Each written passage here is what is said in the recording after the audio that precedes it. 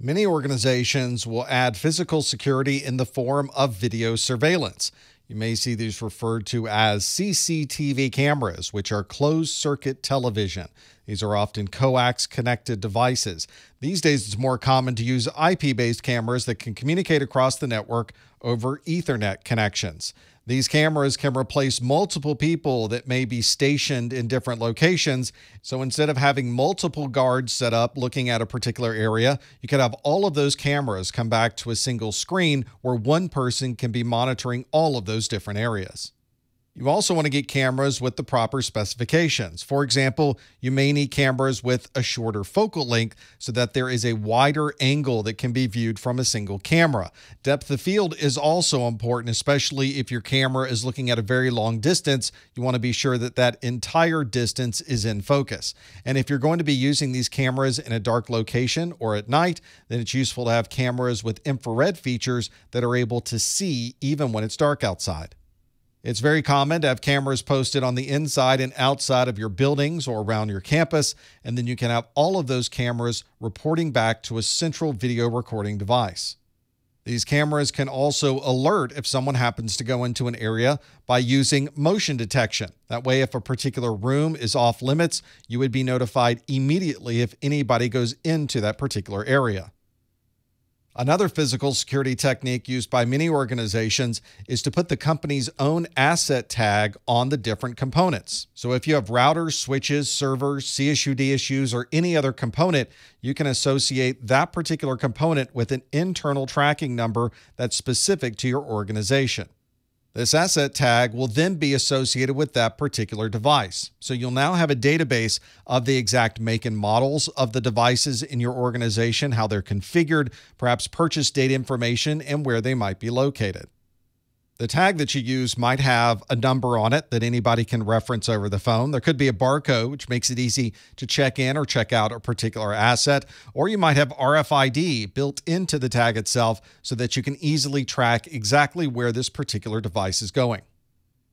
As your organization gets larger, it becomes impossible for any single person to be able to keep track of all of the different assets in your organization. So you need some way for these devices to monitor themselves. And if anybody tampers that equipment, you'll be immediately notified. For example, many servers and other type of desktop components have case sensors built into the device. If anyone removes the cover from that device, an alarm is immediately sent from the BIOS. This way you're able to know exactly when a particular component may have been altered or modified by someone else. And if you have identification tags or asset tags associated with a device, you may want to get a tag that provides tamper notification. If someone removes that tag, there will be a message left behind on the device. One way to keep track of who may be authorized to be in a particular area is to require the use of an ID badge. The ID badge will probably have a picture and the name of a person and other details about that person's employment. This ID badge may also be integrated with your door access. So not only is it a way to identify yourself, it also allows you to gain access through locked doors in your facility. This could also be a smart card, so you could slide it into a computer to provide as additional form of authentication. These ID badges commonly use a standard format in your organization so you can very quickly identify people who may be employees and who may not be employees. And you should train all of your employees that if they see anyone without an ID badge, they should immediately start asking questions. Biometrics is a way to provide authentication that is tied specifically to you as an individual.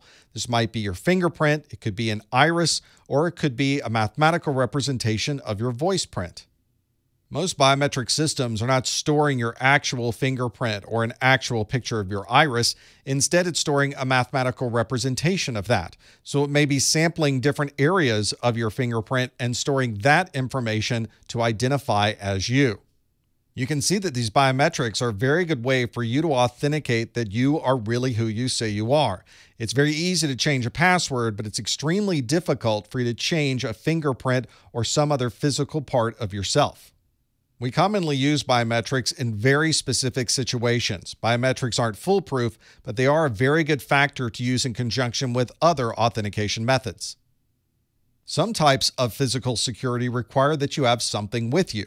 For example, you may have a smart card. You can slide this smart card into a computer, provide your personal identification number, and that might gain you access to that resource. Another type of component that you would have with you is a USB token. A certificate is usually stored on the USB drive, and you would plug that into a device to use as another authentication method. You might also see hardware tokens or key fobs. Sometimes these are built into software that's on a mobile device, and these create a pseudo random code that you would provide along with other authentication methods. And your phone itself can be a good way to have a physical device used during authentication. You could have a code text message to your phone during authentication, and you can provide that along with your username and password as something you might have physically with you to use during authentication. And one of the oldest types of physical security is a door lock. This could be a conventional lock that uses a key to open and lock the door. This might include a deadbolt to provide even more physical security. In many organizations, we're now using electronic locks, so we might put a code into a door that would then unlock that particular room. Many organizations are also using token based locks like this one. This may be a magnetic swipe card or proximity card, and that particular ID on that card is what's going to determine whether that door is unlocked or whether it remains closed. And in some organizations, you can also use the same smart card you use to authenticate to your computers as a way to authenticate through a locked door.